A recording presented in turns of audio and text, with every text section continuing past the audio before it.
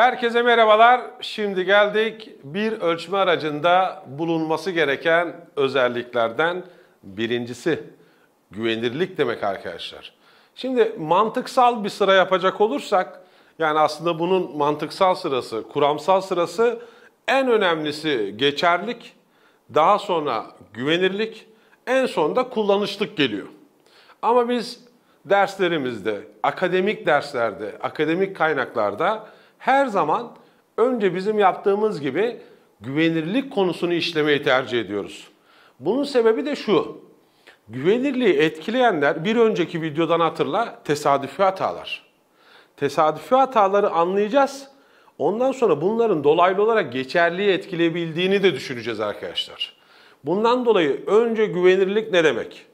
Güvenirliğin alt kavramları ne demek? Güvenirliği etkileyen faktörler ne demek? Ve güvenirlik hesaplama yöntemleri ne demek? Onları bir ayrıntılı bir şekilde göreceğiz. Daha sonra da arkadaşlar geçerlik ne demek ona bakacağız. Ama şunu tekrardan uyarayım. Sabri Hoca önce güvenirliği işledi diye ölçme aracının en önemli özelliği güvenirlik değildir. Ölçme aracının 3 temel özelliği var. Geçerlik, güvenirlik, kullanışlık. Mantıksal sıra bu. Bu sırayı bilmek zorundasınız. Bazen kaynaklarda özellikle bu sırayı öğrenin, bu sırayı bilin diye sorular da sorulabiliyor. En önemliden en önem size doğru sıralanış aşağıdakilerden hangisidir diye sorabilir. Tekrar ediyorum en önemlisi geçerlik, daha sonra güvenirlik, daha sonra ise kullanışlık olarak ne yapıyor? Karşımıza çıkıyor. Şimdi tahtaya bir bakın. Uzun bir video olacak. Bunun gerekçesi de şu. Arkadaşlar bazen öyle bir soru soruyor ki tahtanın en başındaki bilgiyle tahtanın en sonundaki bilgiyi ilişkilendirmek zorunda kalıyorsunuz. Zaten bunu daha önceki videolarda da söyledim. Artık son yaklaşım soruları direkt tak bir tane kavrama yönelmiyor. Öyle kavramları birleştiriyor ki ünitenin en başındaki kavramla ünitenin en sonundaki kavramın ilişkisini bize soruyor.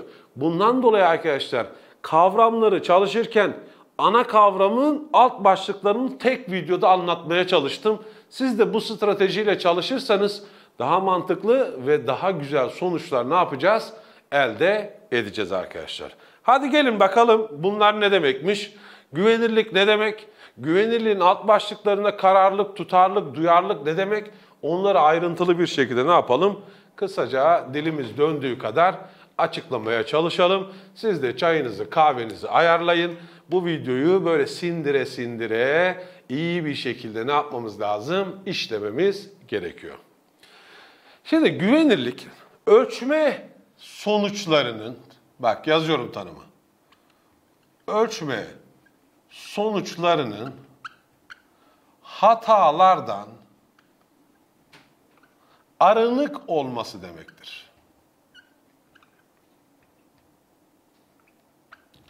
Ölçme sonuçlarının hatalardan arınık olmasıdır.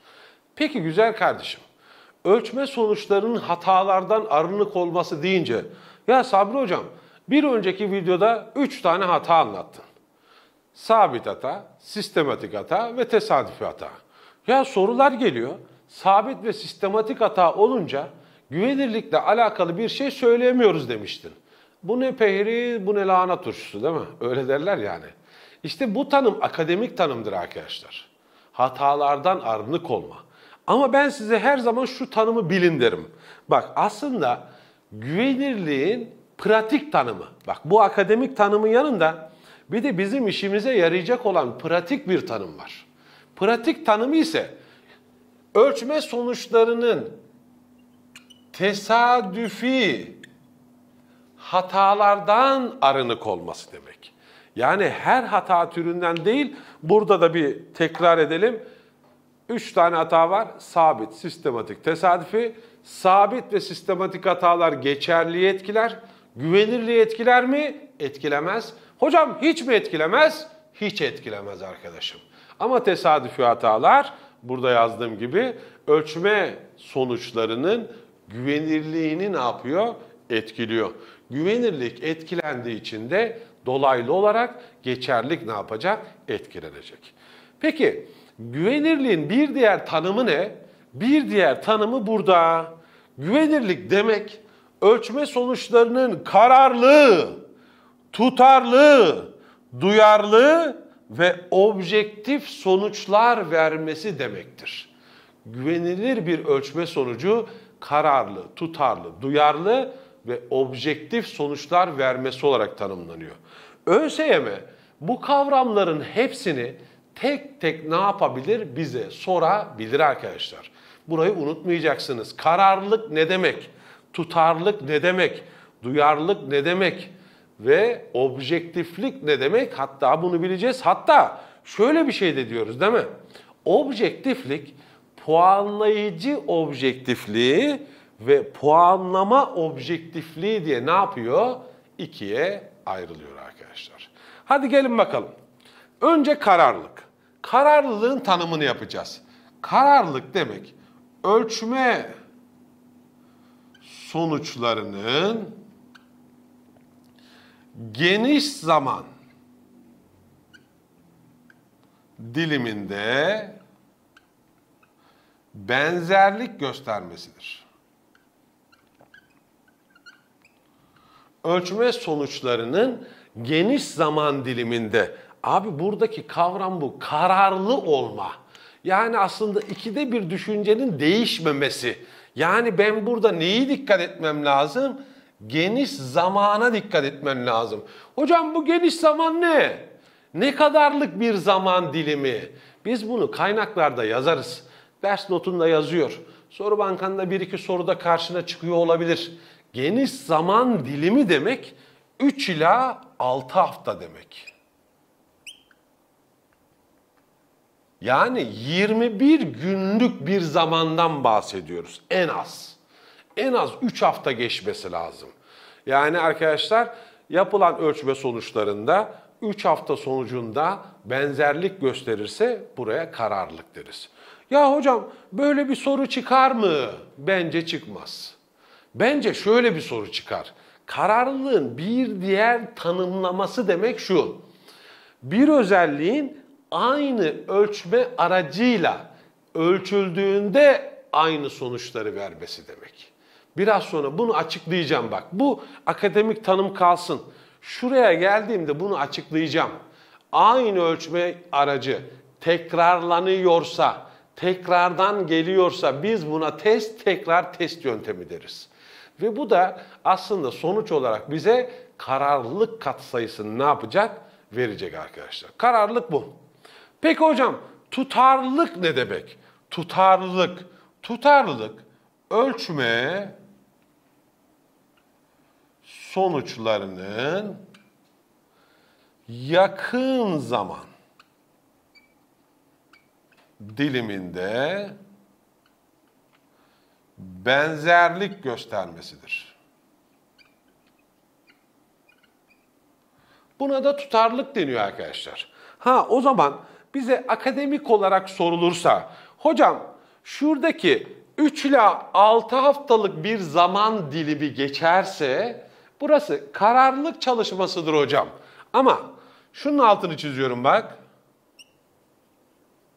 Hocam eğer ki yapılan ölçme işlemleri arasında 0 ila 3 haftalık bir zaman dilimi geçerse hocam bu da yakın zaman olarak kabul edilir. Buraya ise biz ne deriz? Tutarlılık çalışması deriz. Tutarlılık dediğimiz kavram yakın zaman, kararlılık dediğimiz kavram ise geniş zaman diliminde ölçme sonuçlarının benzerlik göstermesi.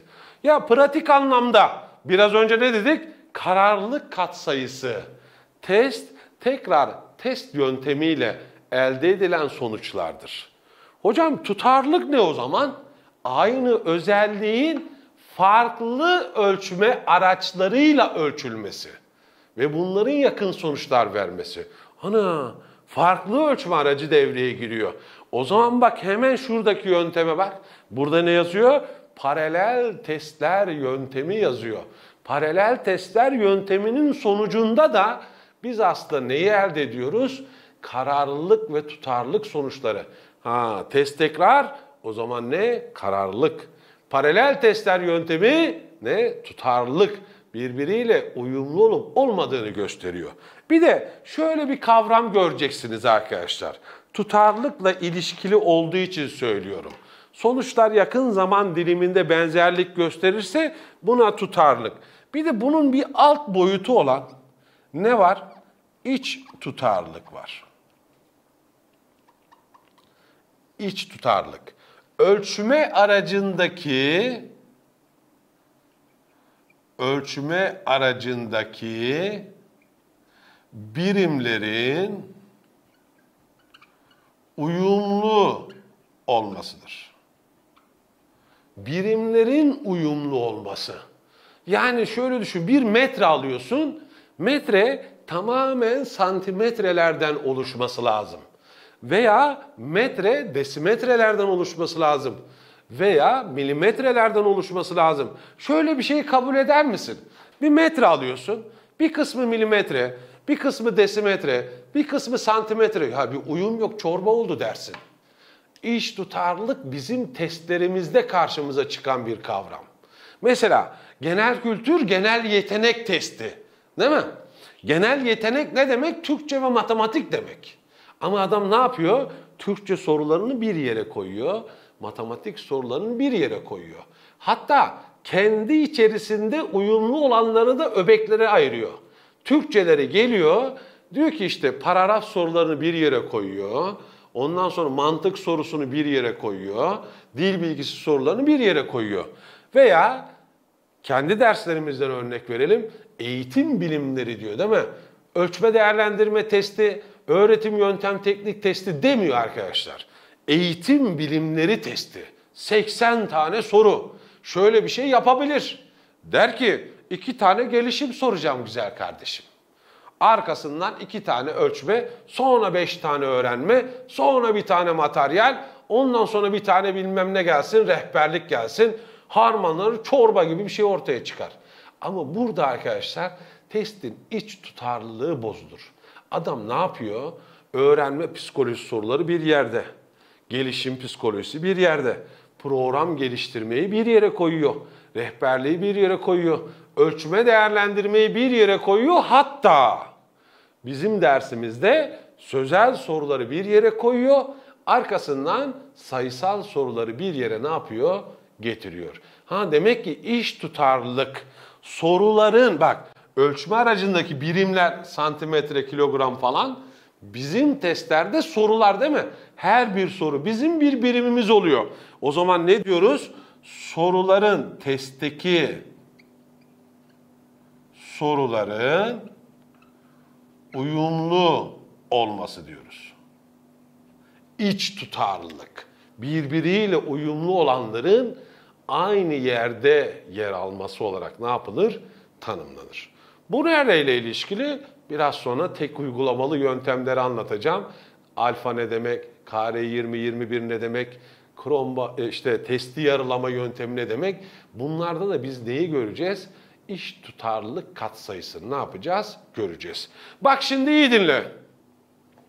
Kararlılık, tutarlılık ve iş tutarlılıktan bize soru soracaksa eğer burayı yöntemlerle ilişkilendirerek soracak ve onu biraz sonra anlatacağım. Ama buradaki 1, 2, 3, 4, 5 tane kavramdan bağımsız olarak çat diye sorabileceği iki kavram var. Ya duyarlılığı soracak ya da objektifliği soracak arkadaşlar. Duyarlılık ne demek? Duyarlılık demek ölçme aracının hassasiyeti demek. Bak duyarlılık, hassasiyet ölçme aracının hassas sonuçlar vermesi demek. Hassas terazi oradan aklına gelsin tamam. Hassas ölçümler yapma. O zaman bak metre, desimetre, santimetre, milimetre. Bak ne kadar birimler arası mesafe küçülürse ölçme aracı o kadar ne oluyor? Duyarlı oluyor güzel kardeşim. O zaman ben ikinci tanımı yazıyorum. Birimler arası mesafenin küçülmesi. Birimler arası mesafenin küçülmesi demek. Metre, desimetre, santimetre, milimetre. Ton, kilogram, gram, cent. En sonunda miligramlara kadar ne yapabiliyoruz? Ölçebiliyoruz. Ne kadar birimler arası mesafe küçülürse o kadar hassas, duyarlı, doğru sonuçlar vermiş olursun. İşte duyarlılık böyle bir şey arkadaşlar. Bak iyi dinle. Kafanda şu örneği düşün bak. Şuraya bir örnek yazacağım, sileceğim sonra. Bir çubuk var. Bu çubuk 96 santimetre. Bak bu çubuk 96 santimetrelik bir çubuk. 3 tane araçla ölçüm yapacağım arkadaşlar. Birincisi metre metre bölünmüş. Bak birincisi. Ölçtüm 1 metre gelir. Bak birinci araç. 1 metre ölçtü değil mi? Metre metre ayrılmış birinci araçla ölçüm yaptım. 1 metre ölçtü. 4 santim hata verdi. Bak 4 santim hata verdi. İkinci aracımı elime aldım. Bak ikinci aracımı elime aldım. Desimetreler şeklinde ayrılmış bir metre araç kullanıyorum.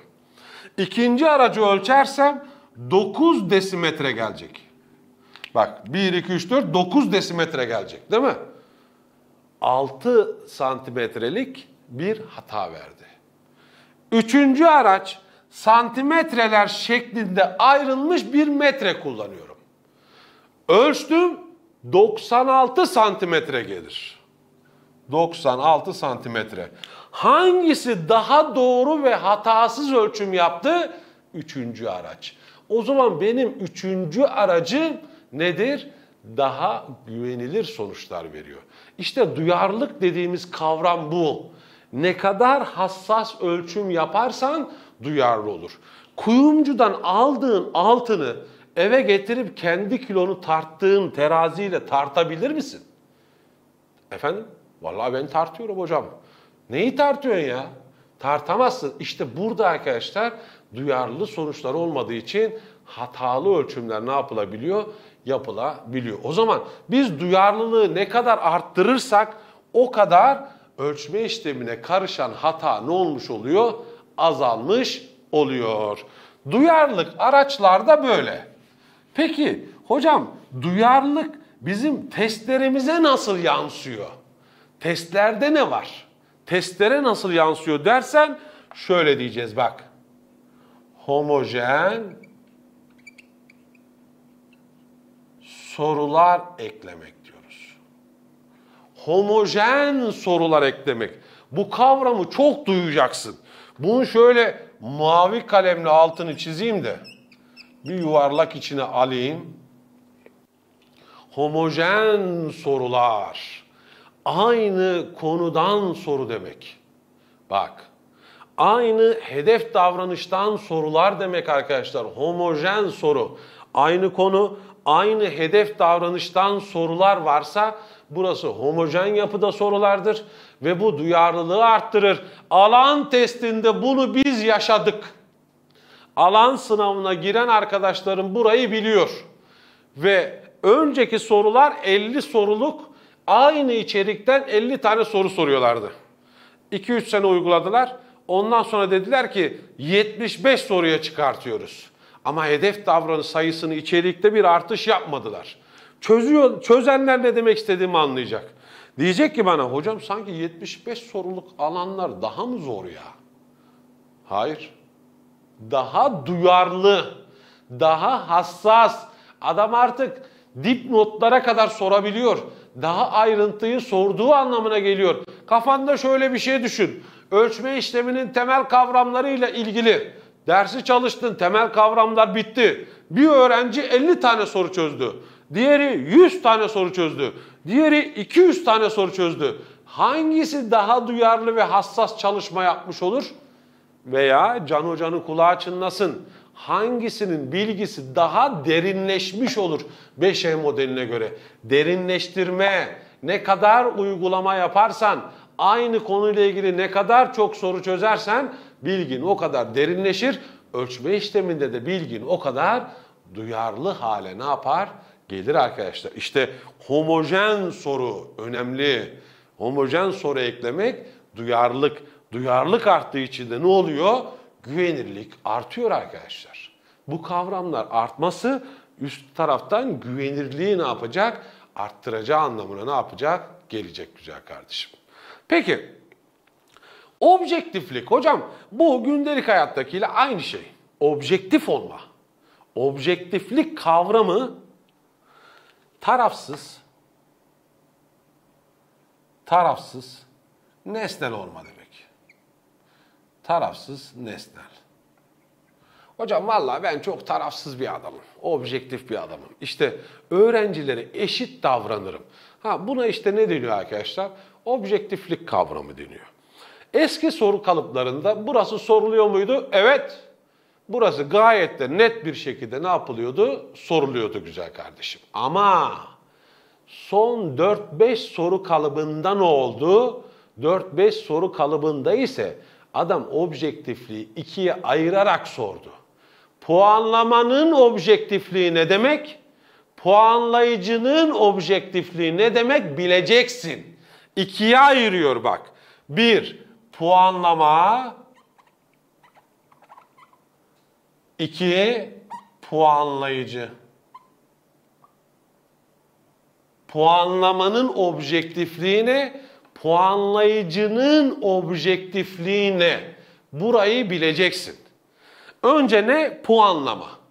Puanlama objektifliği ben kendim, iyi dinle bak, ben kendim öğrencinin sınav kağıdını okurken kendimde bir takım önlemler alıyorsam, yani cevap anahtarı hazırlıyorsam, bak cevap anahtarı. Bak kendim cevap anahtarı hazırlıyorsam, öğrenci ismini kapatıyorsam, isimler kapatılır. İsimler kapatılır. Veya aynı kağıdı birkaç defa farklı zamanlarda puanlayıp ortalamasını alıyorsam, bak farklı zaman,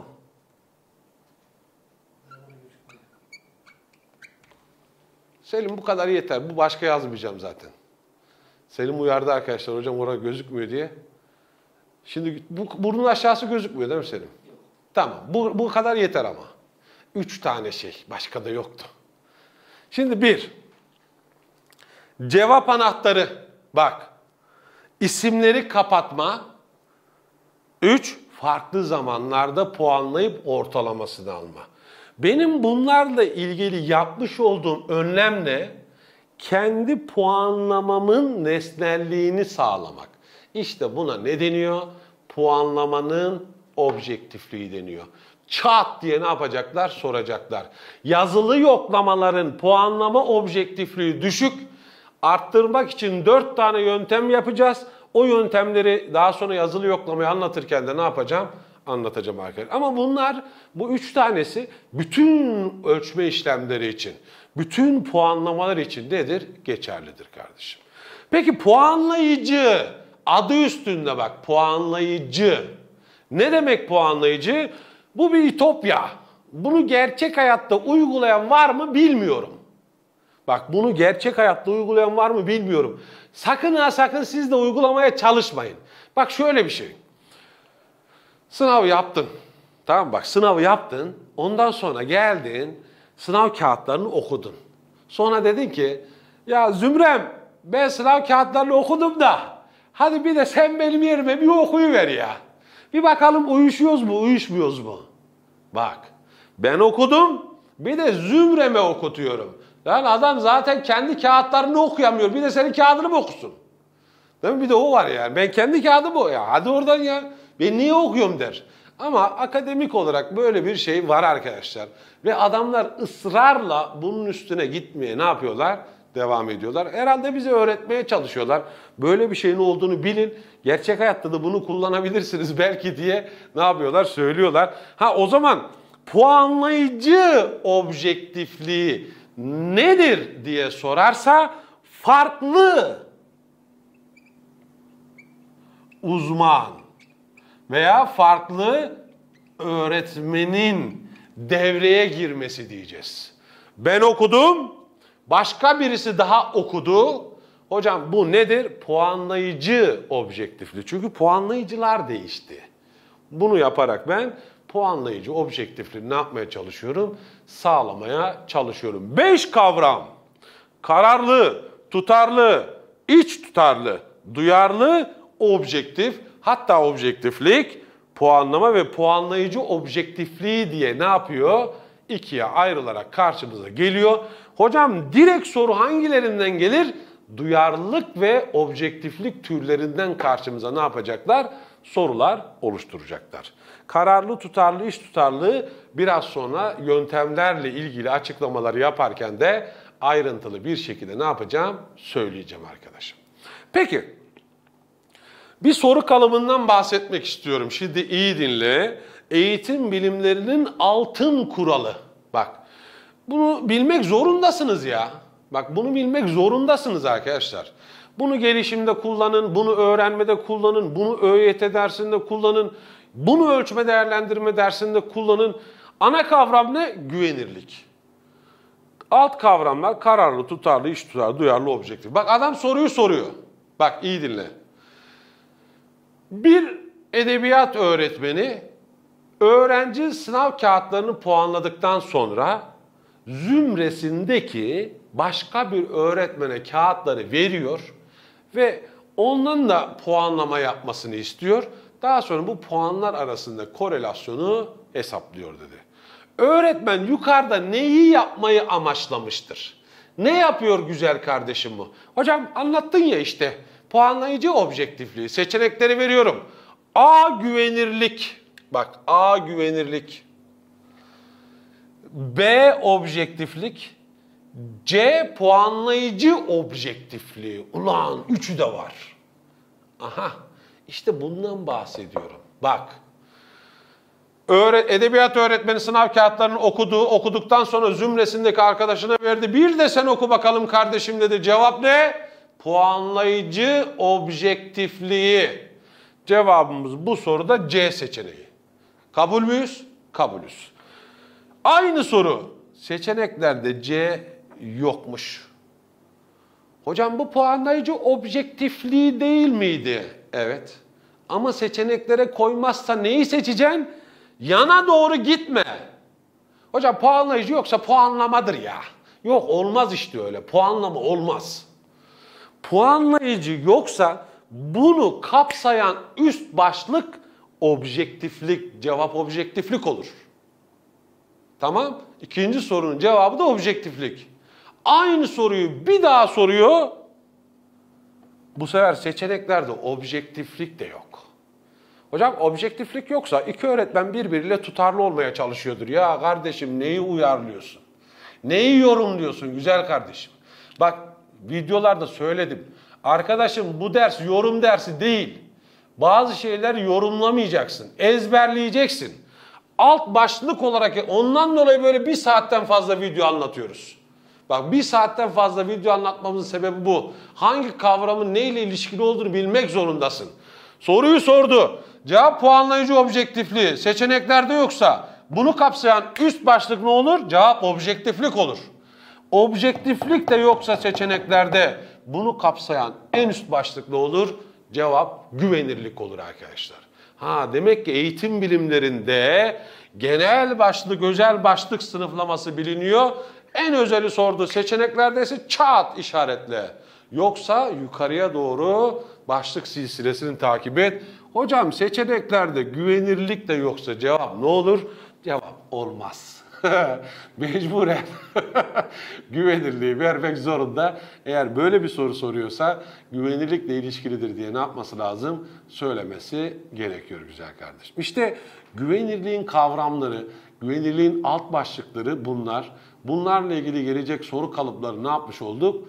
Bulmuş olduk güzel kardeşim. Şimdi bekle. Hemen yan başlığa geçiyoruz. Güvenirliği etkileyen faktörler neler?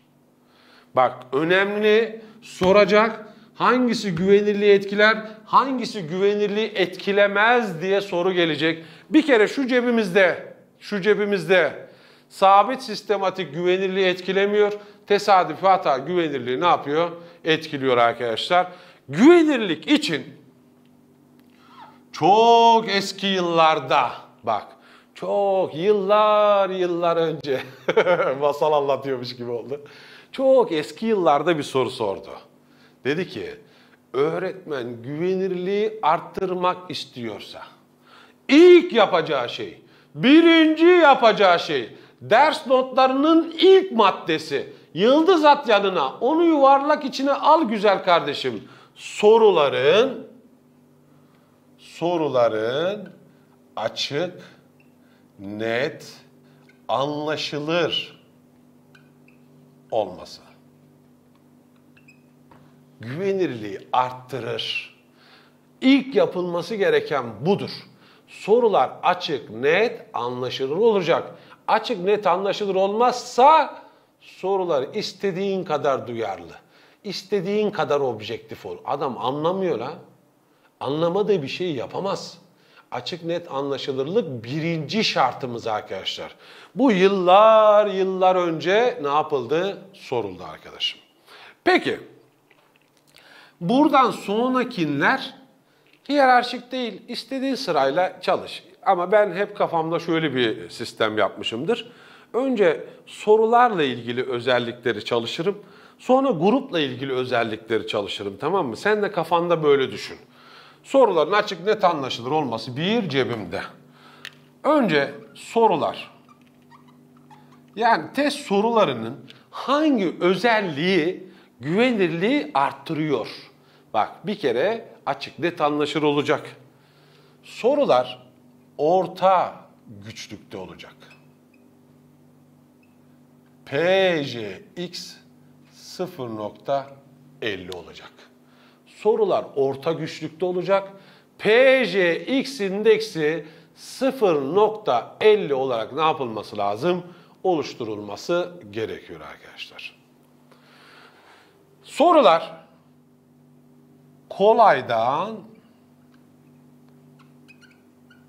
zora sıralanmalı. Sorular kolaydan zora sıralanmalı. Bazen testlerde yani bizim girdiğimiz ulusal sınavlarda kitapçık türleri olduğu için bu bazen bozulabiliyor. Yani ilk başta senin en zor sorun da gelmiş olabilir. Ama sen biz hep şey deriz ya böyle Can Hoca koçluk sisteminde de bunları anlatıyor. Sınav anında ne yapılması lazım, ne edilmesi lazım. Bu çok güzel bir sistem arkadaşlar. Onu da kesinlikle izleyin. Koçluk sistemi videolarının hepsini takip etmenizi istiyoruz. Şimdi soruları çözerken önce sana kolay gelen dersler, biz hep öyle deriz değil mi? Sana kolay gelen derslerde matematiği çok seviyorsan matematikten bir iki soru çöz. Tarihi çok seviyorsan tarihten bir iki soru çöz. İşte coğrafyayı çok seviyorsan coğrafyadan bir iki tane soru çöz. Yani önce onlarla bir beyin jimnastiği yap. Önce onlarla ilgili bir beynini böyle bir alıştır. Alıştırdıktan sonra diğer yerlere ne yapman istiyoruz? Sorulara geçmeni istiyoruz. Ha bunun sebebi de senin kaygı düzeyini dengelemek. Soruların kolaydan zora doğru sıralanması. Soruların uyumlu olması. Uyumlu olması, iç tutarlılığın arttırılması. Uyumlu olan soruların aynı süreç içerisinde olması birbiriyle beraber verilmesi demek arkadaşlar. Uyumluluk. Soruların homojen olması. Soruların homojen olması. Aynı konudan, aynı hedef davranıştan, aynı özellikleri ölçen bu neyi arttırıyor? Duyarlılığı arttırıyor. Bunları uzaydan getirmedim. Bak buradan ilişkilendire ilişkilendire yazıyorum kardeşim. Bundan dolayı bütünü görmek önemli. Yani sistemi bir çözersen tık tık tık tık tık tık hepsini ne yapacaksın? Çözeceksin. Ha sorular nasıl olacak? Homojen. Homojen sorular neyi arttırır? Duyarlılığı arttırır. Duyarlılık artıyorsa ne artar? Güvenirlik ne yapıyor? Artıyor arkadaşlar. İşte bundan bahsediyorum. Bu ilişkileri kurman için videolar bu kadar artık uzun uzun çekiliyor. Yani benim dersim videoların artık kısa video olmayacak arkadaşlar. Geniş, böyle hepsiyle birbiriyle ilişkilerini görebileceğin videolarla ne yapmaya çalışıyorum? anlatmaya çalışıyorum. 2025 senin yılın olacak. Bu yıl senin yılın kardeşim. O sene bu sene. Adam akıllı çalış, programlı, sistemli bir şekilde çalış. Soruların özellikleri bunlar. Peki grupla ilgili hangi özellikler olacak? Bak ben kafamda şunu tutarım. Güvenirlik tesadüfi hatalardan arınık olmak. Güvenirlik soruların açık net anlaşılır olması. Güvenirlik soruların homojen olması. Güvenirlik grubun heterojen olması. Yani sınavın uygulandığı grup heterojen olmak zorunda. Sorular homojen, grup heterojen, sorular homojen, grup heterojen, sorular homojen, grup heterojen. Bunu ezberle. Güvenirlik deyince bu aklına gelmek zorunda. Başka yapacak bir şey yok. Bunu hatırlayacaksın. Grubum heterojense standart sapma, varyans, ranj yüksektir. Bak standart sapma, varyans, ranj yüksekse güvenirlik de yüksektir.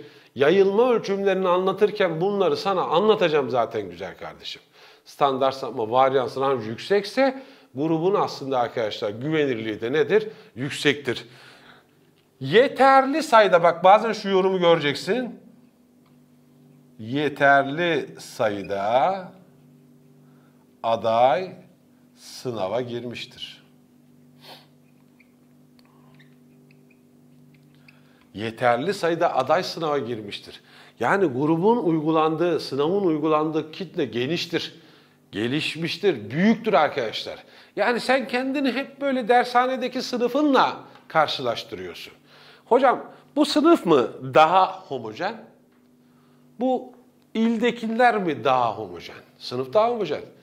Kişi sayısı arttıkça sınava girenlerin sayısı arttıkça sınavın grubun heterojenliği de ne olur? Artar. Grubun heterojenliği arttıkça da güvenirlik otomatikman ne olmuş oluyor? Artmış oluyor. Bundan dolayı ÖSYM'nin yaptığı sınavların güvenirliğine itiraz edemezsin. Adam sana direkt şunu söyler. Türkiye'de en fazla kişinin girdiği sınav benim sınavım. Bundan dolayı da benim sınavımın güvenilirliğini sorgulayamazsınız. En heterojen sınav benimkidir der. Peki sorular homojen, grup heterojen. Bunun yanında neler, bunun yanında neler söyleyelim? Birkaç bir şey daha söyleyip etkileyen faktörleri ne yapacağız? Bitireceğiz arkadaşlar. Peki etkileyen faktörlerden bir diğeri. Sınav süresi. Sınav süresi güvenilirliği etkiler arkadaşlar. Yeterince sınav süresi vermen lazım. Bazen şöyle bir şey çıkabiliyor. Çok bazen ayrıntıya inebiliyorlar burada. Sınav süresinin az olması, bak sınav süresi az. Şöyle sınav süresi azsa güvenirlik, geçerlik ikisi de etkilenir.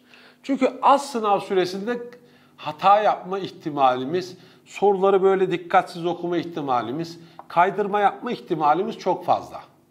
Azsa tesadüfi hata yapabiliriz. Soruları yetiştiremeyebiliriz. Kapsamın hepsine ulaşamayabiliriz.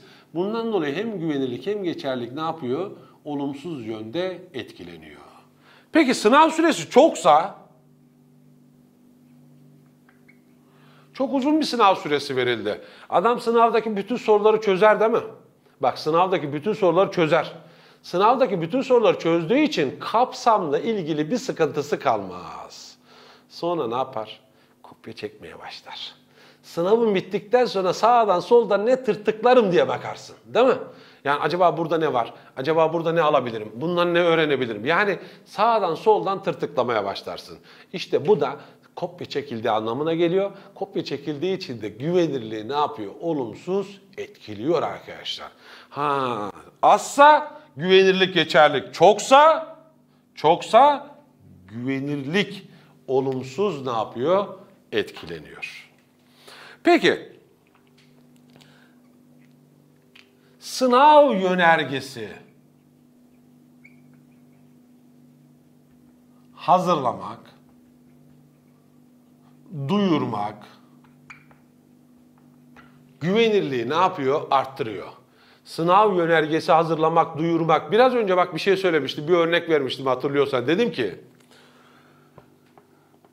öğretmen, tarih öğretmeni sınav yönergesinde güzel yazı yazan, sayfa düzeni, noktalama işaretine dikkat edenlere 5 puan vereceğini duyurdu. Bak duyurdu. Sonra sınavı yaptı ve gerçekten 5 puan verdi. Hangi hata? Hata yok demiştim. Çünkü yönerge bizim anayasamız. Şimdi bir ölçme değerlendirme öğretmeni olarak bunu duyurmak benim yükümlülüğümde güzel kardeşim. Sınav salonuna saat 10'dan sonra kimseyi alıyorlar mı? Almıyorlar. Geç kaldı, onu 5 geçe gidiyorsun. Hocam bizi almadılar ya. Git. Ya güzel kardeşim yapmayın böyle şeyler ya. Medyatik olmanın bir anlamı yok arkadaşlar. Bunu ölçme kuralını anlatırken de söylemiştim, burada da söylüyorum. Bu bir sınav yönergesidir. Sınav giriş yerleri açıklandığında, giriş belgeni çıkartırken kocaman bir uyarı çıkıyor. Ondan sonra kimseyi binaya almayacağım, kabul ediyor musun diye sana soruyor. Sen de ben kabul ediyorum diyorsun. İşaretledin. Tak giriş belgen çıkıyor. Çıktısını aldın ilk madde. Bak sınav kurallarının ilk maddesi. Salona saat ondan sonra kimse alınmayacak diye yazıyor. Sen onun da gözünle okuyorsun. Bu şunun gibi bir şey. Kimliğini unutup sınava gitsen, seni almasalar itiraz eder medyaya düşer misin? Düşmezsin. Aynı şey. Hemen altından kimlik giriş belgesini soruyor zaten. Ha demek ki sınav yönergesini hazırlamak, bunu duyurmak. Çünkü mesela KPSS sınavına girdiniz, ÖSS sınavına girdiniz. Girdiğiniz yerlerde hep adam sınav başlamadan önce gözetmen okumaya başlıyor. Bu sınav şu kadar dakikadadır, şu kadar giriş çıkışlar şu sürededir, kopya çekmek yasaktır. Elektronik cihaz yanında o kadar x-ray'lerden bilmem neden geçiyorsun, aramalardan falan. Adam soruyor elektronik cihaz olan var mı? Artiste bak ya. Bunu niye soruyor? Zaten arandı. Adam bunu sormak zorunda. Bunu duyurmak zorunda. Duyurursa güvenirliği ne yapmış oluyor? Artmış oluyor arkadaşlar değil mi? Bak güvenilir ne olmuş oluyor? Artmış oluyor. Peki şans başarısı, kopya çekme güvenirliği olumsuz etkiler mi? Evet. Şans başarısı, kopya çekme yapı geçerliğini de olumsuz etkiler. Geçerlik türlerinde bunu anlatacağım. Hatta ders notunda şöyle bir uyarı var. Şans başarısı ve kopya çekme hem güvenirliği hem geçerliği direkt etkileyen istisna kavramlardan bir tanesidir arkadaşlar. O zaman yaz. Şans ve kopya.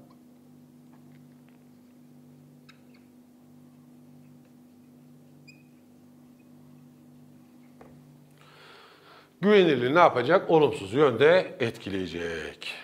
Peki tesadüfi hatalar?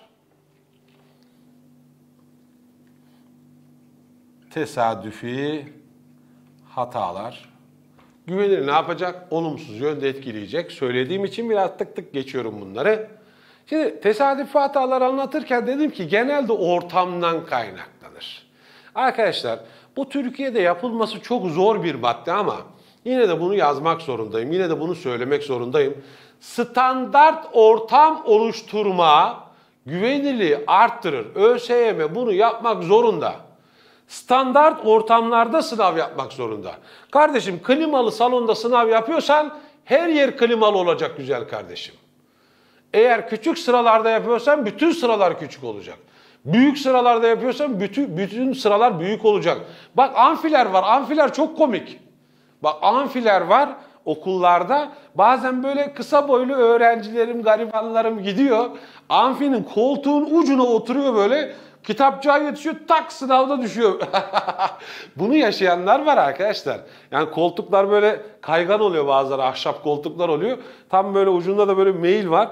Tam böyle yetişeyim derken ucuca bu ortamda ya ne yapıyorsun abi? Adam zaten stresli bir sınavdasın ve ortam da hazırlanmadığında daha da stresli hale geliyor. O zaman standart ortam hazırlama son madde yazıyoruz. Standart ortam hazırlama güvenirliği ne yapacak? Artıracak. İşte bunlar da güvenirliği arttıran ve azaltan, etkileyen faktörler. Her birini tek tek dilim döndüğünce anlatmaya çalıştım. Şimdi bak güvenirlik kavramlarıyla ilişkilendirerek gittik değil mi?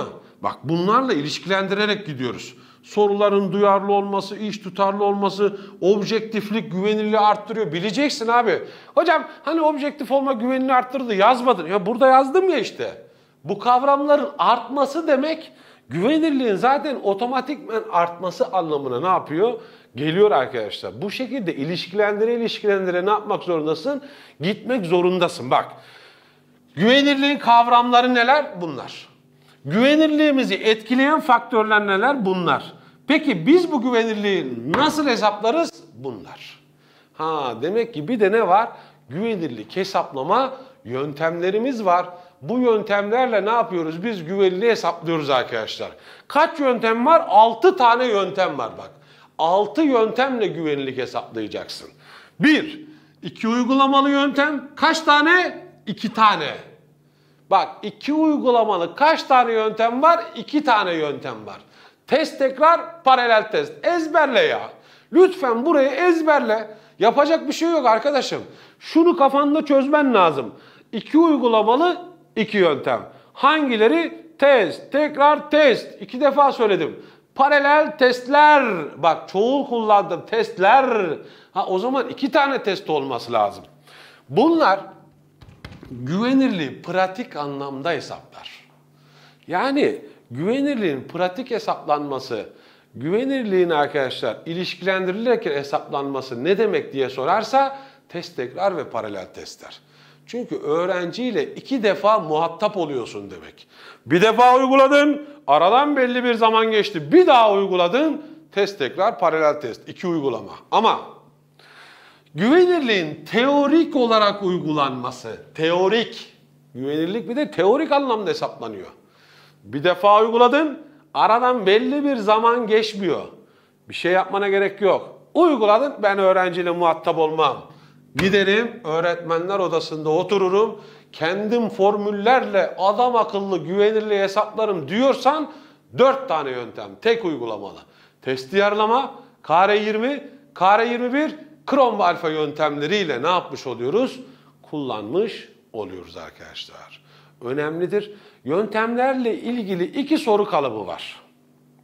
Birinci soru kalıbı diyecek ki sana. Bak birinci soru kalıbı sana diyecek ki arkadaşlar. Yukarıda hangi yöntem kullanılıyor? İlk soru kalıbı. İkinci soru kalıbı bu yöntemin bak bu yöntemin yorumu nedir? Bak bu yöntemin yorumu nedir diye soracak. Adam diyor ki öğretmen bir test uygulamış, test tekrar test yöntemin çıkmış 0.90 bulmuştur. Hocam o 0.90'ı nasıl hesapladı? Sana ne ya? Sana tutup da 0.90'ı hesapla demeyecek. Bak böyle bir şey yok.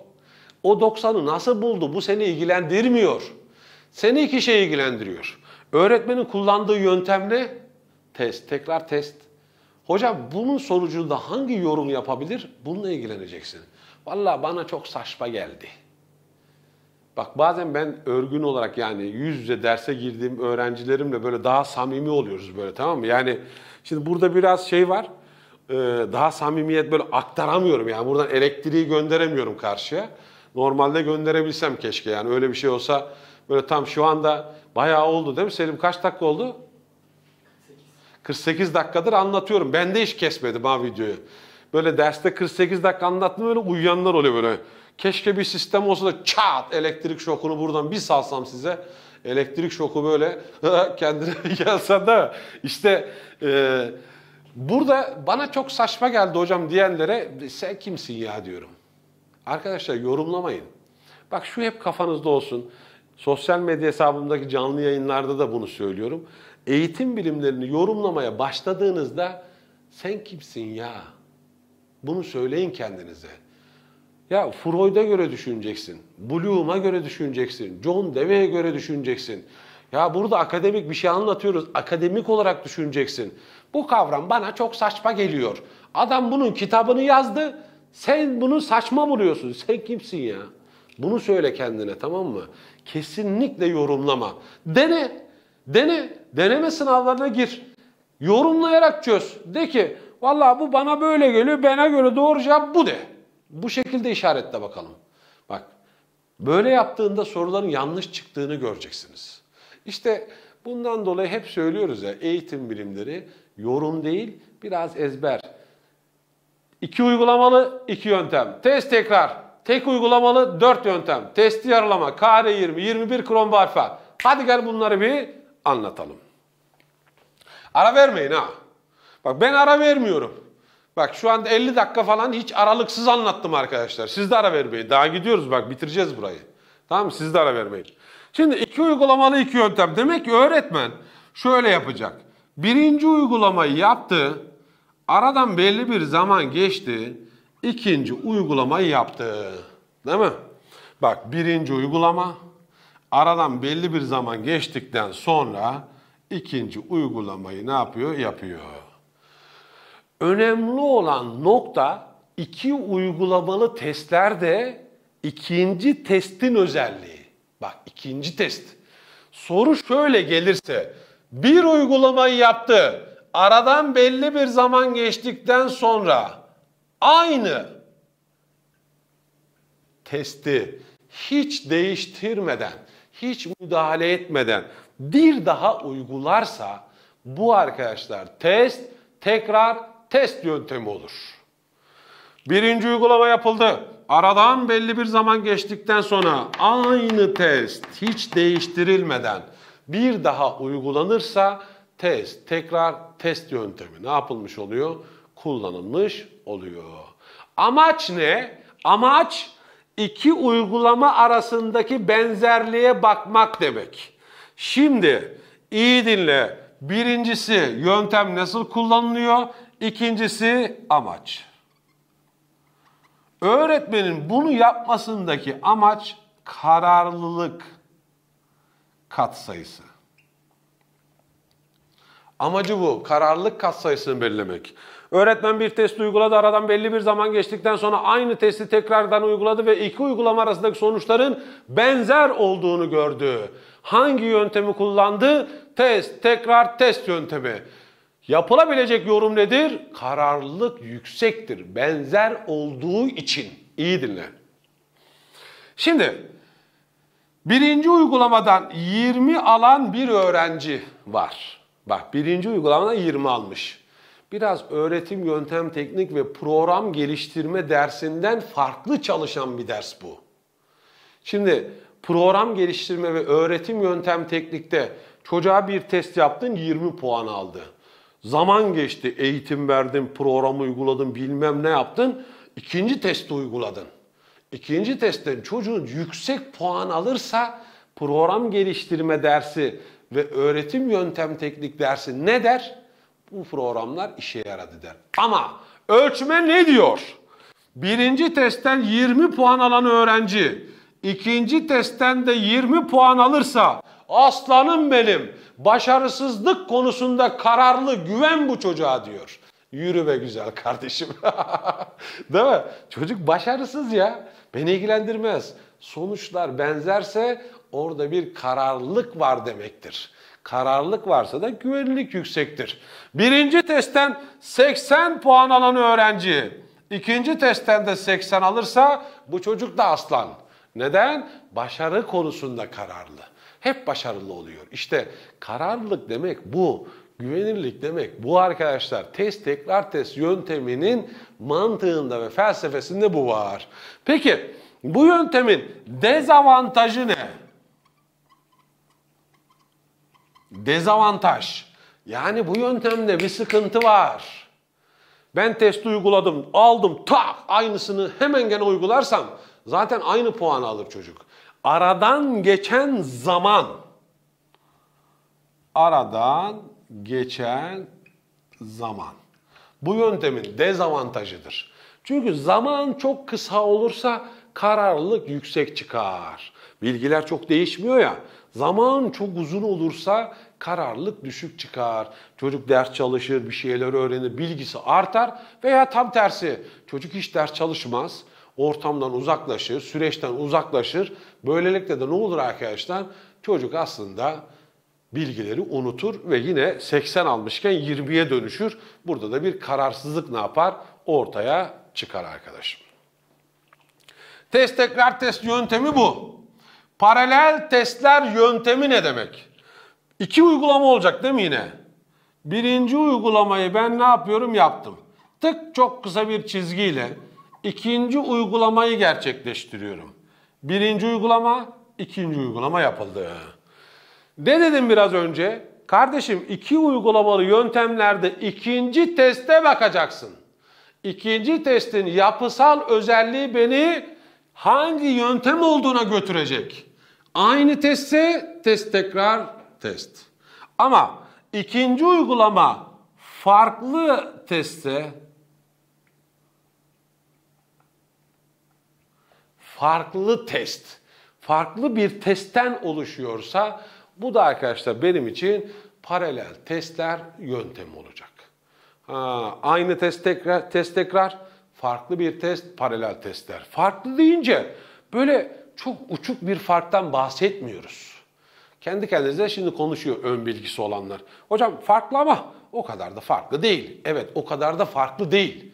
Sorular, bak şuraya yazıyorum. Sorular. Yani diyor ki tam öğrenme modelinin temsilcisi kimdir? Öbüründe diyor ki Bloom'un ortaya attığı model hangisidir? Bak aynı bilgiyle aynı soruyu çözebiliyorsun. Soruların soruların tipi. Birisi açık uçlu, birisi kapalı uçlu olmaz. Biri yazılı yoklama, biri çoktan seçmeli test olmaz. Soruların tipi. Soruların zorluğu. Birisi zor, birisi kolay olmaz. Lisede bazen A testi, B testi yapılıyor. A testinde sınava çıkan adam diyor ki ulan keşke bana B gelseydi ben hepsini biliyordum. Evet, tabii bilirsin. Ha. Öbürü de diyor ki vallahi ben de A'daki her kaçan balık büyük oluyor ya. Ben de A'dakinde hepsini biliyordum diyor. Öyle bir şey yok aslında. Soruların tipi, soruların zorluğu, soruların sayısı. Sayısı. Biri 50 tane soruysa öbürü de 50 tane sorudan oluşması lazım. Birisi 10 tane soruysa öbürü de 10 tane sorudan ne yapması lazım? Oluşması lazım. İptal edilen ÖSYM sınavlarında paralel testler uygulamasını görüyoruz. Adamlar soruyu 2012 yılında iptal etti. Aradan 2-3 hafta geçtikten sonra tak diye onun birebir aynı yapıda olan bir testi tekrardan bize ne yaptı? Uyguladı arkadaşlar. 2010 yılında iptal etti. Tak diye aynısına benzer bir şey ne yaptı? Uyguladı. Buna işte biz ne diyoruz? Soruların tipi, soruların zorluğu, soruların sayısı, sınav süresi aynı olmalıdır diyoruz. Yani ikiz, tek yumurta ikizi. Bunun ismi eşdeğer formlar yöntemi. Paralel testler yöntemi. İkiz testler yöntemidir arkadaşlar. Ve öğretmen birinci uygulamayı yaptı. Sonra farklı sorulardan oluşan ikinci uygulamayı da yaptı. Burada hangi yöntem kullanılıyor? Paralel testler yöntemi. Amacı nedir? Amaç nedir diye sorarsa tutarlılık. Tutarlılık katsayısını hesaplamak. Çok nadir de olsa bir defa, iki defa ÖSYM'nin de kullandığı bir kavram var burada. Eşdeğerlik katsayısı. Bunu da yazalım. Eşdeğerlik katsayısı. Bazen çok nadir de olsa bunu ne yapabiliyorlar? Kullanabiliyorlar arkadaşlar. Ondan dolayı bileceğiz. Paralel testler yöntemi ne işe yarar? Tutarlılık katsayısını belirler. Test tekrar test yöntemi ne işe yarar? Kararlılık katsayısını belirler. Test tekrar test yönteminin dezavantajı ne? Aradan geçen zaman. Paralel testler yönteminin dezavantajı ne diye sorarsa dezavantaj nedir diye sorarsa ikinci test diyoruz. İşte bu sıkıntı. Abi birinci testi hazırladın ya da bir internet sitesinden buldun, bir yerden indirdin, adama bir sınav uyguladın. İkinciyi nereden bulacaksın? Oturup tek tek sen hazırlayacaksın. Yani birinci testte eşdeğer bir form hazırlamak zor. Birinci testin ikizini hazırlamak zor. uyuşmadığı için bir sıkıntı ne yapıyor? Ortaya çıkıyor arkadaşlar. Ha o zaman iki uygulamalı iki tane yöntemim var. İki uygulamalı iki yöntem bunlar. İki tane test tekrar paralel testler. Bunlar güvenirliğin pratik anlamda hesaplanması. Gidip gerçekten çocukla iki defa sınav uygulayarak muhatap oluyorum ve güvenirliği buna göre ne yapıyorum? Hesaplıyorum. Peki gel bakalım, gel. Tek uygulamalı yöntemler neler? Testi yarlama, kare 20, kare 21, kromo alfa yöntemlerimiz neler? Bunları bir görelim. Testi yarılama yöntemi en kolay tanınan yöntemdir. Bak tanıması soruda tanıması en kolay yöntem. Öğretmen 50 soruluk bir testi 25-25 iki parçaya ayırmıştır. Hangisi? Testi yarılamış lan. İşte bak testi yarlama. Öğretmen 100 soruluk bir testi 50-50 iki parçaya ayırmıştır. Hangisi? Testi yarlama yöntemi. İşte testi yarlama yönteminde testteki sorular bir tane test uygulaması var. Bir uygulama. iki eşit parçaya ayrılıyor. Birinci yarı, ikinci yarı. Peki hocam birinci yarı ve ikinci yarı nasıl oluşturuluyor? Bak diyelim ki 10 tane soru var. 1, 2, 3, 4, 5, 6, 7, 8, 9, 10 soruluk bir test formu. Ben bunu iki parçaya ayıracağım. Ortadan ikiye bölebilirim. Kimse bana bir şey demez. Bak ortadan ikiye ben bunu bölebilirim. İlk 5 son 5 diyebilirim. Ama şurada bir şey dedim bak. Soruların kolaydan zora sıralanmasından bahsettim. İlk 5 son 5 dersen ilk 5 çok kolay olur. Son 5 ise çok zor olur. Bundan dolayı bir sıkıntı yaşayabilirsin. Ama şöyle yaparsan bak. 1, 3, 5, 7, 9 birinci yarı. 2, 4, 6, 8, 10 ikinci yarı. Yani en ideal yarılama yöntemi teklerden bir grup, çiftlerden bir grup oluşturmaktır arkadaşlar. En ideal yarılama yöntemi teklerden bir grup, çiftlerden bir grup oluşturmak olarak ne yapılıyor? Tanımlanıyor.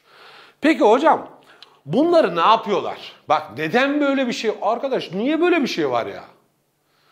Çocuk testin tamamından 80 puan aldı diyelim.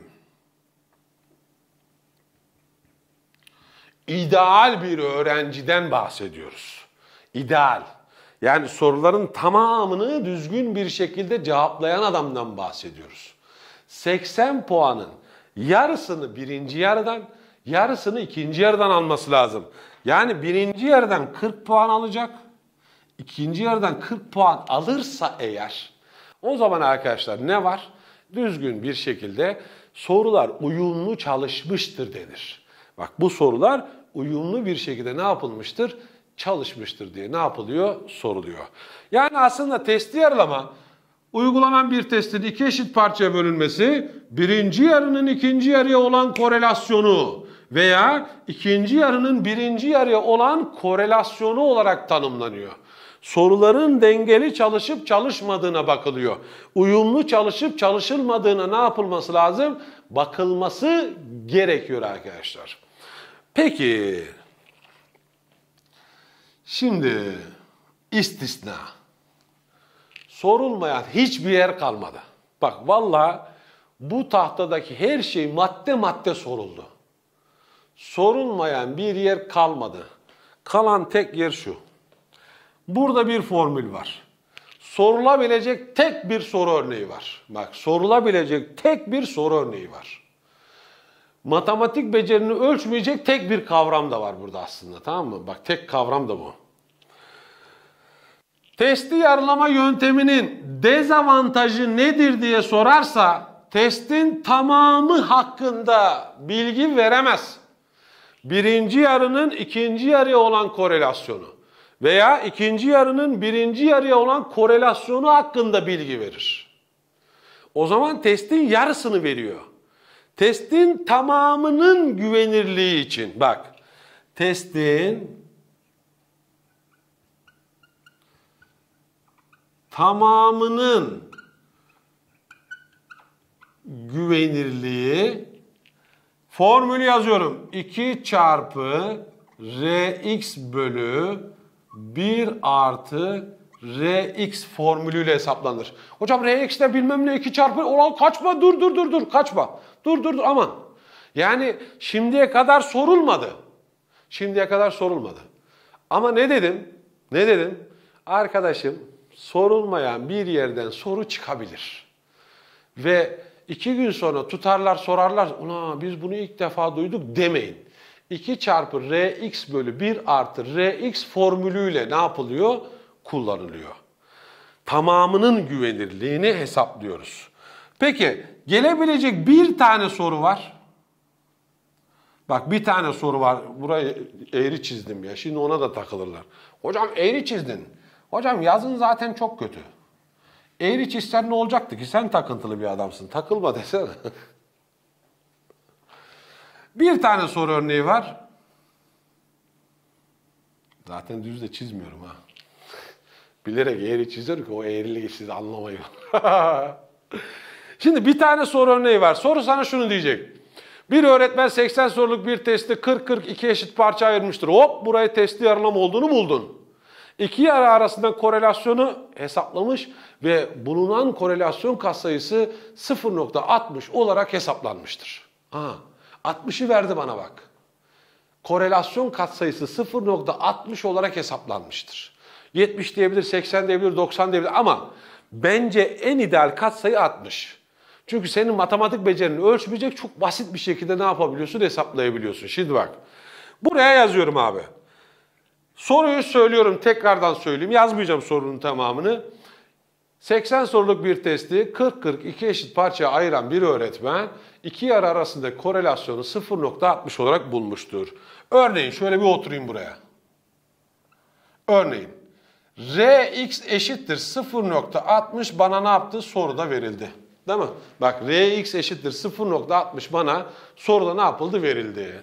Ben de geleceğim buradaki Rx yerine 0.60'ı koyacağım arkadaşlar. Ne çıkıyor? Hemen yapalım. 2 çarpı 0.60 bölü 1 artı 0.60. O da eşittir. 1.2 bölü 1.6. O da eşittir. Sadeleştir güzel kardeşim.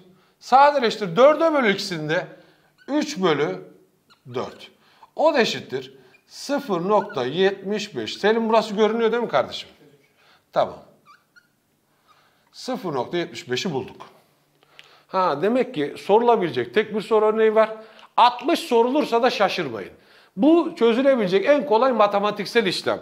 12 bölü 13, 4 ile sadeleştiriverdim. 3 bölü 4 oldu. 3 bölü 4 de 0.75 olarak ne yapıldı? Hesaplandı. Ben olsam, bak gerçekten ben olsam bunu sormazdım. Bu tamamen matematik. Yani çok yakın bir matematik aslında. Ben olsam şunu sorardım. 80 soruluk bir testi 40-42 eşit parçaya ayırdım. Bak 40-42 eşit parçaya ayırdım. Parçalar arasında korelasyonu 0.60 buldum. Testi yarılama yönteminin güvenirlik katsayısı kaçmış? 0.60. Testin tamamının güvenirliği kaçmış? 60 kaça yükseldi? 0.75. Ben olsam şunu derdim.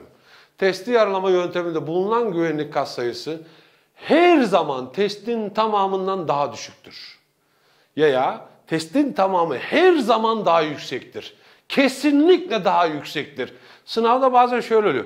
Hocam her zaman demiş. Burada bir sıkıntı olabilir. Her zaman olmayabilir. İlla ki bir istisna vardır. Abi istisnası yok. 40 sorunun güvenirliği mi daha yüksek? 80 soru mu? Soru sayısını arttırmak güvenirliği arttırır. O zaman şu doğrudur. Testi yarılama yönteminde bulunan güvenirlik katsayısı testin yarısına aittir. Testin tamamının güvenirliğini hesaplamak için 2 çarpı Rx bölü 1 artı Rx formülü kullanılır. Ve testin tamamının güvenirliği her zaman kesinlikle testin yarısından daha yüksektir doğru. Bunu unutmayın arkadaşlar. Ben olsam bunu sorardım. Tahtanın hepsi soruldu. Tek sorulmayan bilgi burası kaldı güzel kardeşim. Testi yarılama yöntemimiz de bu. Bu şekilde hesaplamanın sorulabileceği tek yer burası. Bu da bir bakarsın karşımıza ne yapabilir? Çıkabilir. Şimdi gelelim buraya. Kuder Richardson 20, Kuder Richardson 21. Kim bu adam? Bir istatistikçi. Bir sürü formülü var. 20 ve 21 bizim derslerimizde kullanılan aslında iki tane formül. Ya bu adam niye iki formülle bizim derse yansımış? Veya bunlar ne zaman kullanılır? Önce onlara bir bakalım. Şimdi kare 20 ve 21'in ortak özellikleri var. Ortak. Ortak özellikler neler? Bir kere nesnel sınavlar.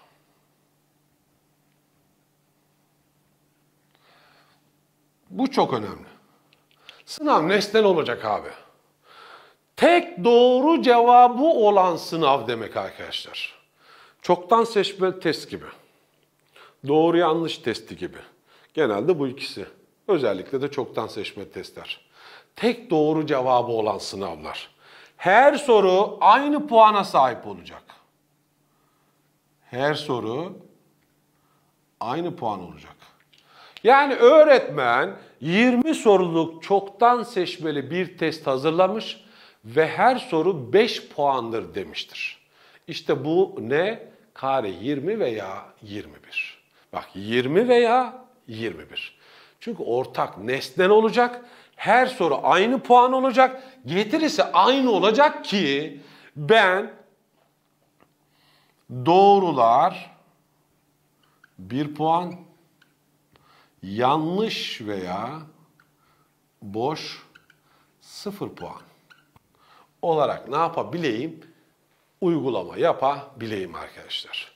Çünkü kare 20-21'de doğrular 1, yanlış veya boşlar 0 puan olarak ne yapılıyor? Kabul ediliyor ki hani o madde istatistiğine gelince de orada göstereceğim 1-0-0-1-1-1 gibi böyle bir tablo var. Madde matriksi deniyor ona arkadaşlar. Orada aslında biz kare 20-21'i anlatıyoruz. Hesaplayabiliyoruz. Anlatmamız lazım üniversitede akademik anlatımda. Ama biz ne yapıyoruz orada? Güçlük indeksini, ayırt edicilik ne, e, standart sapmaları nasıl etkilemiş diye o soruları çözüyoruz. Normalde kare 20-21. Şimdi bu koşul sağlanmak zorunda. Bak bu koşul sağlanmak zorunda. Nesnel olacak. Çoktan seçmeli test, doğru yanlış testi gibi. Her soru aynı puan olacak. Her soru 5 puan, her soru 1 puan, her soru 4 puan, her soru 3 puan gibi.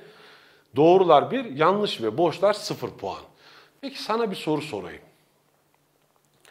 bir ölçme değerlendirme sorusuyla bir rehberlik sorusu aynı puana sahip olabilir mi? Veya bir işte ölçme değerlendirme istatistik sorusuyla bir ÖYT sorusu aynı puana sahip olabilir mi? Olabilir. Bak bunu söyleyeyim, duyurayım da ders çalışma stratejinizi buna göre hazırlayın arkadaşlar. Yani bizim derslerimizde eğitim bilimleri testinde yer alan bütün sorular aynı puana sahiptir. Genel yetenek testi Türkçe matematiğin içinde olduğu bütün bir Türkçe ile bir matematik aynı puana sahip. Bunu kesinlikle arkadaşlar herkese duyurabilirsiniz. Sabır Hoca bunu söyledi diyeceksiniz tamam mı? Şimdi bir matematik sorusuyla, üstlü sayılar sorusuyla bir sözel mantık sorusu aynı puana sahip. Sözel mantıkta o kadar çok zaman harcamaktansa bir üstü sayılar çöz aynı puan alıyorsun. Veya bir güncel sorusuyla bir coğrafya sorusu aynı puan alıyor. Çünkü onlar da genel kültür testi. Bak, genel yetenek test soruları Türkçe matematik, genel kültür test soruları tarih, coğrafya, vatandaşlık güncellerde mi? Güncelleri öyle bir takılıyor ki adam. Lan bir tane coğrafya çöz, aynı puana sahip. Yani o kadar da e, şey yapmayın yani. Bunlar arkadaşlar eğitim bilimleri. Hocam ben ölçme şunu yapamıyorum, bunu yap. Ya onu yapamıyorsan öbürünü yap. Aynı şey. Stratejini ona göre dengele. genel yetenek testi aynı puan. Genel kültür kendi içinde aynı puan. Eğitim bilimleri 8 tane ders var. 8 ders aynı puana sahip arkadaşlar. Tamam? Bunu hiçbir zaman ne yapmayın? Unutmayın. Şimdi önce bu koşul sağlanacak. Bir edebiyat öğretmeni 20 soruluk hazırlamış olduğu çoktan seçmeli bir testte her soru 5 puan olarak belirlenmiştir. Tak. Ortak koşul ne yapmış oldu? Sağlanmış oldu arkadaşlar. Peki buradan sonra ne zaman kare 20? Ne zaman kare 21 kullanılması lazım? Bak buradan sonra ayıracağız.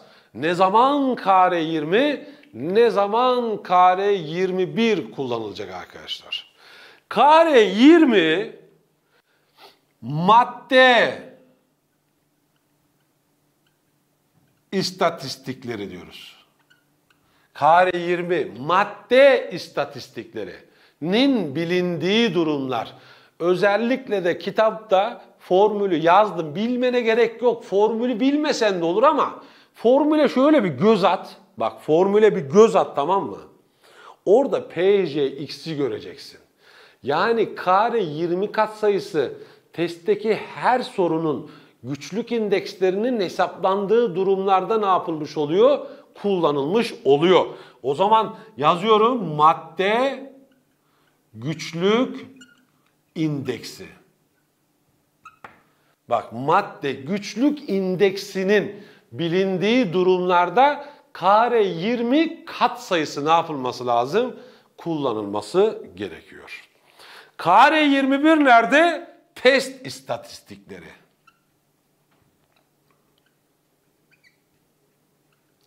Test istatistikleri. Kare 21. Formüle bak. X üzeri çizgi. Ana ulan o neydi? Aritmetik ortalama. Testin tamamından alınan puanların aritmetik ortalamasına bakılarak hesaplanan bir katsayı kare 21. Aritmetik ortalama. Şimdi şöyle geleceksin. Bak güzel kardeşim sana birkaç tane soru örneği söyleyivereyim. Bir edebiyat öğretmeni hazırlamış olduğu 20 soruluk çoktan seçmeli bir test. Nestel tak cebe aldım. Her soruyu 5 puan değerinde, her soru aynı puana sahip. Tak cebe aldım. Kare 20-21. Öğrencilere uyguladıktan sonra öğrencilerin testteki her soruya vermiş olduğu cevaplara bakarak güvenirlik hesaplıyor derse her soruya verilen cevaplar madde istatistiği demek. Demek ki tek tek çalışma yapıyor tek tek ayrıntılı çalışma yapıyor. Ama şöyle derse, öğretmen testin tamamından alınan puanlara bakarak, bak sorulara değil, testin tamamından alınan puanlara bakarak güvenirlik hesaplıyor derse, o zaman kare 21 ne yapılmış oluyor? Kullanılmış oluyor aritmetik ortalama. Ha demek ki arkadaşlar 20-21'i bu şekilde ne yapmanız lazım? Ayırmanız gerekiyor. Şimdi birkaç yerde şöyle sorular gelebilir. Öğretmen, bir edebiyat öğretmen hazırlamış olduğu 20 soruluk çoktan seçmeli bir testte her soru 5 puan olarak değerlendirmiş ve öğrencilere testi uygulamıştır. Uyguladıktan sonra öğrencilerin sınav not çizelgesini hazırlamış. Bak sınav not çizelgesi. Ali 90 aldı, Veli 70 aldı, o bilmem ne aldı ama sınav kağıtlarını kaybetmiş. Kağıtlar yok. Öğretmen hangi yöntemi kullanması daha idealdir? Hadi bakalım. Kağıtlar yok. Kare 21'i. Çünkü sınav not çizelgesi var. Genel notları biliyor adam ama her soruya kaç tane hangi kimlerin ne cevap verdiğini bilmiyor. Kağıtları kaybetmiş ya onları bulamaz. O zaman kare 21 ne yapılması lazım? Kullanılması gerekli güzel kardeşim. Ne zaman, nerede kullanılması gerektiği anlaşıldı mı? Bence anlaşıldı. Hadi gel bak şimdi. Birkaç tane not vereceğim. Birinci not. Kare 20, kare 21 kat sayısına baktığımızda Kare 20 madde madde, kare 21 ise testin geneli. O zaman hangisi daha duyarlı? Alo. 20 mi 21 mi? Elektrik şoku şak bir şok gelse. 20 mi 21 mi? Kare 20 daha duyarlı. Duyarlılık neydi bak? Hassasiyet. Kare 20 daha duyarlı. O zaman duyarlı olanın bak duyarlı olanın güvenirliği daha yüksek ne yapması lazım? Çıkması lazım. İşte buradan şu geliyor. Not. İdeal olan testlerde kare 20 büyüktür. Kare 21'den. İdeal olan testlerde kare 20 güvenirliğin üst sınırı, kare 21 güvenirliğin alt sınırı diye kabul edilir. Çünkü 20 daha duyarlı. Her şey için tek tek ayrıntılı tak tak tak tak ne yapacak? Bakacak. 21 ise testin geneline bakacak. Yani şöyle diyebilirsin. Kare 21 tembel adamların işi. Unutma. Aklında böyle kalsın. Kare 21 tembel adamların işi. Tek tek niye bakayım ya? Testin geneline bakmam benim için yeterlidir diye ne yapacak? Söyleyecek. Peki.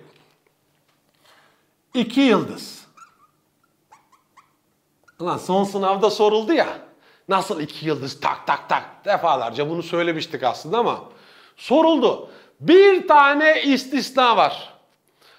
O istisna sorulacak, sorulacak, sorulacak yıllardır söyledik 2024 sınavında soruldu abi. Tek istisna. İstisna şu. Sınavda soruların soruların güçlük indeksleri eşitse bak soruların güçlük indeksleri eşitse kare 20 eşittir kare 21 olarak hesaplanır. İstisna. Bu istisnayı bil cepte kalsın. Bak mesela yıllardır standart hatayı sormadılar, sormadılar, sormadılar. Son 5 yıldır soruyorlar, 4 yıldır soruyorlar. Yani şunu deme kendine. E hocam bunu geçen sene sordular. Bir daha mı soracaklar? Vallahi bir daha sorarlar. Bak bir daha üst üste sorarlar abi. Sen bunun farkına bile varmazsın. Üst üste sorarlar arkadaşlar. Göreceksin bak. Soruların güçlük indeksleri eşitse o sınavda hesaplanan kare 20, 21 birbirine eşit çıkıyor. Neden biliyor musun? Neden? Bu neden de önemli. Madde güçlüklerinin toplamı aritmetik ortalamayı veriyor. Güçlükler eşitse aritmetik ortalama da eşit çıkıyor. İstatistiğe gelince bunu göreceğiz arkadaşlar. Madde güçlüklerinin toplamı aritmetik ortalamayı veriyor. Güçlükler eşitse ortalama da eşit çıkıyor. Bundan dolayı güçlükler eşitse 20 ile 21 de birbirine eşit çıkıyor arkadaşım. Tamam? Gel şimdi son kavram. Kromba alfa katsayısı. Neden var? Neden var? Demek ki Kuder Richardson bazı testlerde işe yaramıyor. Açık var burada. Nesnel, bütün testler nesnel mi? Hayır. Bazı testler öznel. Puanlama objektifliği düşük. Bundan dolayı nesnel olmayan testlerde ne devreye girer diye sorarsa kromba alfa kat sayısı devreye girer. O zaman yazıyoruz arkadaşlar. Nesnel olmayan subjektif testlerde kullanılır. Nesnel olmayan subjektif testlerde kullanılır. Yani şu bir sıfırın yapılamadığı testler her sorunun puan getirisinin aynı olmadığı testler demek bu. Ne demek? Likert tipi testler.